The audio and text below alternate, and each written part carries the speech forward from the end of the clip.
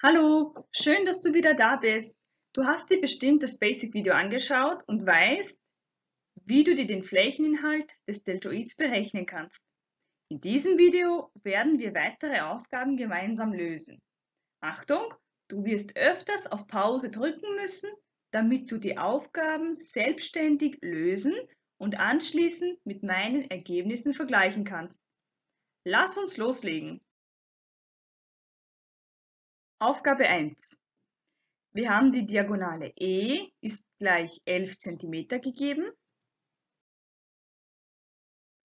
und den Flächeninhalt Groß A ist gleich 99 Quadratzentimeter. Gesucht ist die Diagonale F.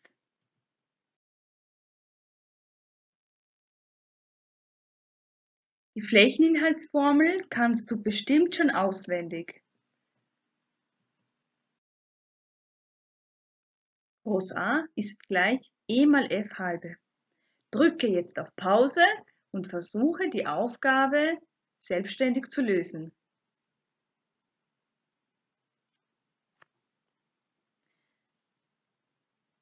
Du hast es bestimmt geschafft. Lass uns nun deine Lösung mit meiner vergleichen. Da f gesucht ist, müssen wir die Formel zunächst einmal umformen. Wir müssen beide Seiten mit 2 multiplizieren und erhalten 2 mal groß A ist gleich E mal F. Nun müssen wir beide Seiten durch E dividieren. Das heißt, wir haben nun 2 mal groß A dividiert durch E ist gleich f. Wenn du die Diagonale E und den Flächeninhalt Groß A in die Formel f ist gleich 2 mal Groß A dividiert durch E einsetzt, erhältst du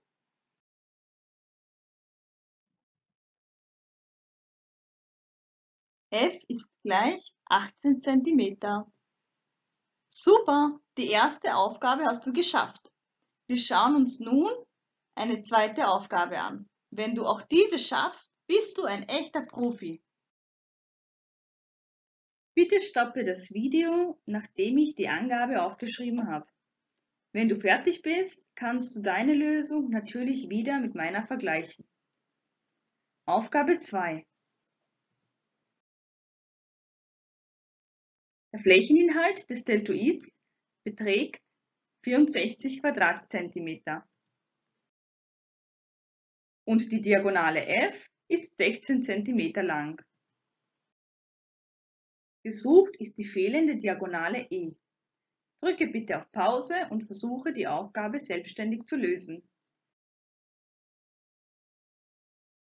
Wir schauen uns nun den Lösungsweg gemeinsam an. Da die Diagonale e gesucht ist, müssen wir die Formel zunächst umformen.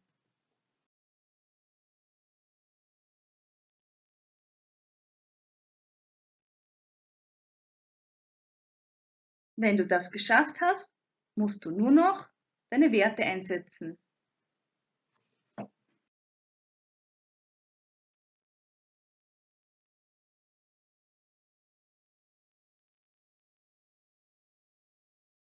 Nun wissen wir, dass die fehlende Diagonale E 8 cm lang ist.